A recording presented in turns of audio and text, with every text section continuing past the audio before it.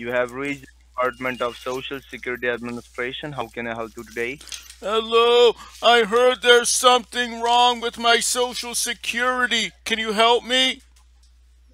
Yes, I can help you. My name is Officer Sean Matthews, who I'm speaking with. My name is Robert Grinnell. That's spelled R as in Romeo, E O as in What's your last name? Hold on, hold on. What's your last name? It's Grinnell, spelled G is in golf, R is in Romeo, I is in India, N is in November, N is in November, E is in Echo, L is in Lima, L is in Lima. Okay, it's Grinnell, right? That's right, uh huh. Alright, sir. And what's your mailing address, Mr. Robert? It's 1187 Campbell Avenue. That's spelled C- Which avenue? Campbell Avenue. That's spelled C as in Charlie, A as in Hold Elf. on, hold on, hold on. You need, you don't need to uh, get me that C as in Charles, A as in Apple. Go slowly. So C A M P C B U E B L. L L. That's right, uh huh. Yes, and after that, West Haven, That's right, uh huh. and after that, West Haven, Connecticut. The zip code is zero six five one six. What is the zip code? 06516. Okay. And what do you tell me the your first name? My first name is Robert. Yeah, and Robert. And what is your last name? It's Grinnell. Okay. Okay, so just verify me your last four numbers of your social so I can pull out your record It's, and I will let you know what was the call uh, call given to you. so it was 1922. 1922 and what's the whole number of your social? It's 027 24 Uh-huh. 1922. Uh-huh. Okay. Okay, so Mr. Robert, the purpose of this call is just to inform you that did you receive any call from your local sheriff department about your suspension of your social? No. All right, all right. So, uh, are you dealing? Uh, okay. So the thing is that someone is trying to use your personal information for identity and had committed many fraudulent activity in the state of Texas.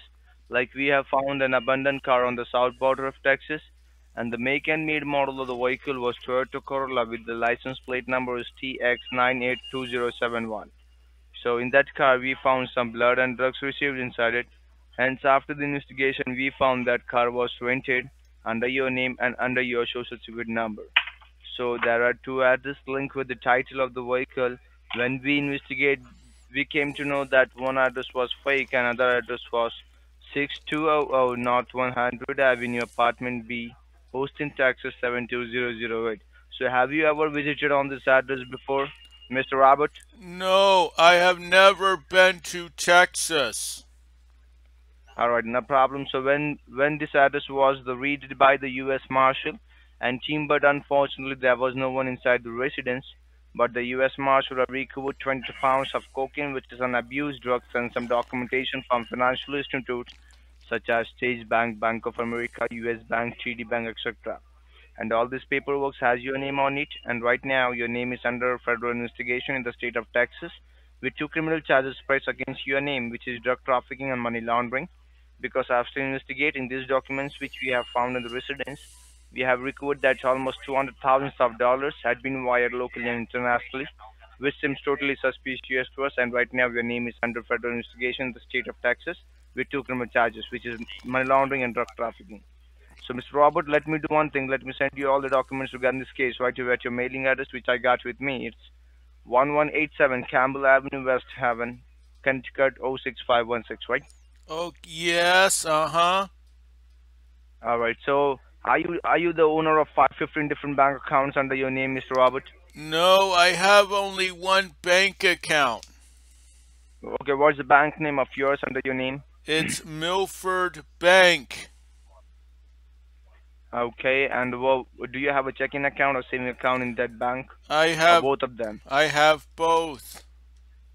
All right. So what is the exact value of your checking account in Melfred Bank?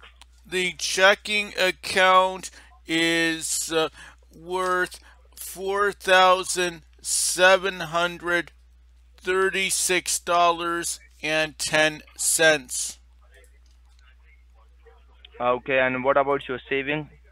What's My the actual bal- uh, my savings account is uh, worth seventy-three thousand seven hundred eighty-four dollars and seventeen cents. Okay, seventy thousand, seventy-eight, seven, eighty-four thousand, right? seventy-three thousand seven hundred eighty-four dollars and seventeen cents. Okay. Okay, so Mr. Robert, let me tell you, you on the recorded line, and this line has been recorded and monitored by three agencies. First one is to the uh, Division of Social Security Administration, second one is to the Drug Enforcement Agency, and third one is to the courthouse. So that we are talking to each other. This recording will play to the courthouse to safeguard you. All right. Okay, and and uh, you have to be so loyal and fair in this recording line. Let me tell you clearly on this recording line. Do you copy that? Okay, uh huh. Yes. So, Mr. Robert, have you ever lost your cell phone in the past? Uh, no, Alright, so did you share your personal detail to somebody? no, Somebody. You have to be very fair and loyal, Mr. Robert. no, not that I know of. Alright, so have you ever visited uh, different state recently? Not recently. They've kept me locked up because I had COVID. Okay, so you have a COVID? That's right, uh huh. Okay, so for how many days you there in the jail? Well, I was I was kept in quarantine for two weeks. Now I'm finally allowed to move around. All right, all right, no problem. So, are you uh, are you the identity of fraud before? Have I been? I did not quite catch. Okay, so are you the uh, okay? So we got that information that you are uh, addicted of drug. Are you the addicted of drug? No, I had the I had the disease COVID, but now I'm allowed to move freely again. Okay, so have you ever shown to the physician doctor about your COVID? That's how I ended up uh, in quarantine. I should have kept my mouth shut. All right, so why? And now, do you have a COVID or just uh, release it? No, I don't have COVID anymore. All right, so that means you were suffering from the COVID, right? I From last two weeks. that's right. Uh-huh. All right, so back to the point of Mr. Robert. Uh, let me tell you, so do you own a credit card under your name? Yes. All right, so do you own a debit card under your name? No, just a MasterCard. All right. All right, so do you own a house under your name? No, I live in senior housing. All right. Okay, and uh, uh, do you do you have a car under your name? Yes. Okay, so what is the model of your car? It's a 1957 Chevy Bel Air. 19, 1957. 1957, and what's the model? It's a Chevy Bel Air. Chevy Bel Air. Yes. Okay. Okay, so do you have a cell phone Uh, yes. or like Android phone, iPhone? I have Which an phone do you have? I have an Obama phone that dials phone numbers and sends text messages. A social worker gave it to me and said it was an Obama phone. An Obama phone. That's right. All right, all right. So, uh, Mr.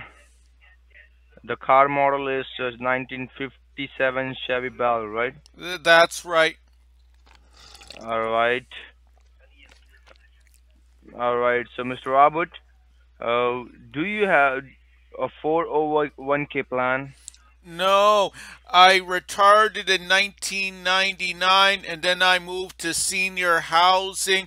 I withdrew all my money so I could enjoy my autumn years. All right. And uh, so, uh, are you living separately or do you own a family with you? No, I live alone in my senior housing apartment. All right. So, okay. So just let me know the further detail of your family so we can reach to them because we don't know the who is the real culprit doing this kind of suspicious activity under name. So we have to contact everybody related of your investigation so we can take your all the family to the investigation. So give me the address of your wife. Who is who is your wife? She died years ago. All right. And uh, what about your children's? I don't know where they are. You don't know where they are, so you, uh, you're not talking to them. Well, they're not talking to me. All right, so Mr. Robert, let me tell you clearly on this recording line, you have to be so loyal to fair. Do you understand? That's right, uh huh. All right, so okay, so Mr. Robert, what I will do, I will just transfer this call to my senior officer. He will let you know the further information about your case. Do you understand? I understand, uh huh. Yes. So Mr. Robert, okay, I'm I'm just going to transfer this call to my senior officer. All right. Okay. So you have to be yes, and I'm I'm going to tell you again and again. You have to be too loyal, so fair on this recording line. So hold on a second. All right. okay. Yeah. Thank you for holding the line now. This line has been connected to senior officer. My name is Officer Peter Watson. Hello, I heard there's something wrong with my social security. Uh, yeah, so I believe my officer explained you each and everything about the situation, right? What is going on with your socials and everything. Something about drugs in Texas, and I don't condone marijuana. I think everyone who smokes marijuana should go to jail for 20 years and be forced to make license plates. Okay. So where are you right now? At your home place? Yeah, I'm in my senior housing apartment. Okay. Here you gave an information to my officer that you have an Milfred bank account and from how long you're using this bank account? I've had it ever since uh, the Vietnam War. Okay. So in your checking account, what amount do you have? I have four thousand seven hundred thirty-six dollars and ten cents. Okay, in your savings account? I have seventy-three thousand seven hundred eighty-four dollars and seventeen cents. Okay, no problem. Now, first thing what we have to do is we have to go ahead and safeguard the funds, whatever you got, okay? So, where are you right now? At your home place, right? So, do you know any nearby government affiliated store where you can safeguard your funds? Or do you want me to tell you? I believe you have a car, right? Car for yourself. That's right. Uh huh. Your current zip code is 06516, is that correct? That's right. Uh huh. Alright, hold on. Let me go ahead and find the nearest location where you can go ahead and safeguard your funds. Okay. Okay. So I just want you to get ready and sit in your car so I can give you the location where you have to go. Okay. Okay. Once you sit in your car, let me know. I'm holding the line. Okay, I have to go get my Velcro shoes and go get my walker to get to the car. Okay, no problem. Take your time. This is your cell phone, right? That's right, uh huh. It's my Obama phone that my social worker gave to me. Okay, no problem. So I'm holding the line. Once you sit in your car, let me know, okay?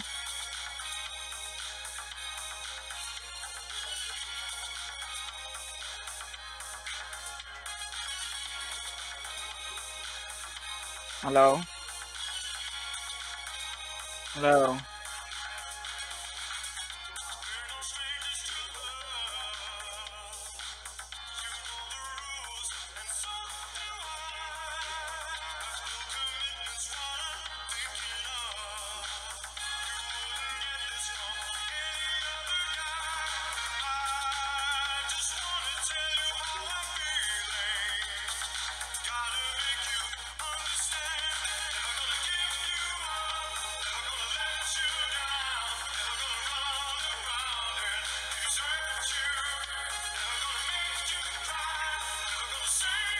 Hello?